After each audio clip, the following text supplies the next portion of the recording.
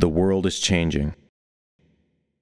Since the beginning of time, a small minority who value knowledge over ignorance, truth over deception, freedom over security, and responsibility over slavery have quietly held the world on their shoulders. These are the producers.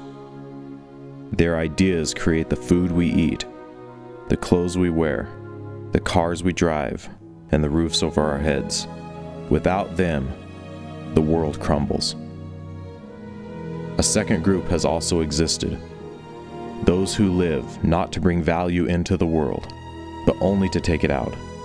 Those who feel the world owes them a favor, that wealth and prosperity are the result of luck, that money is the root of all evil, yet they want more of it.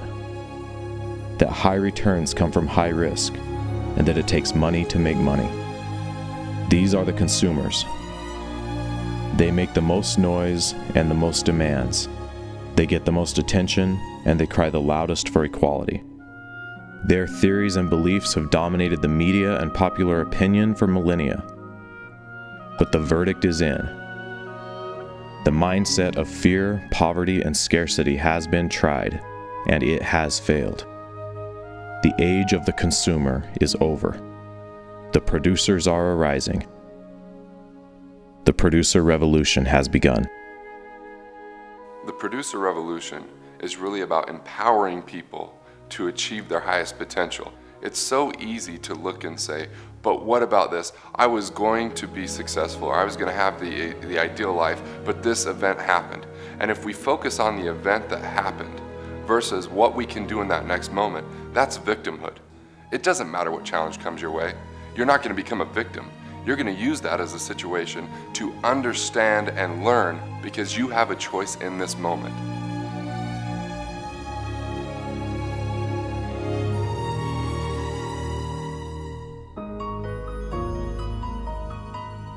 I believe the reason why people struggle so much to attain the level of happiness that they desire is because naturally, as humans, we attach ourselves to other people's ideas.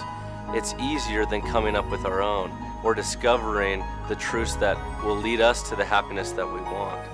Unfortunately, the ideas that most people attach themselves to facilitate questions like, am I going to have enough money to live the life that I want to live?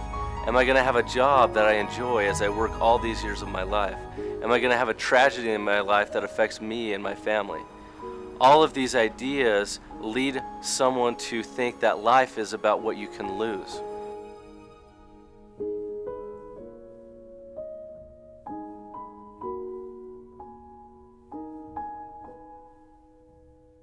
So many times, even if we do see opportunities to change our life, we're afraid. We're afraid of what the consequences might be or of the unknown. And even though we might not be happy, at least the routine is something we're familiar with as Les would teach people about being a producer and having a paradigm shift, and as they would be exposed to that message, they would start to see the possibility of living a life they loved and living to the potential you're here on the earth to live to is something that you can do, and that as you do it, that fear dissipates and that happiness and that joy and that excitement begins to fill you and begins to be contagious and fill the people around you.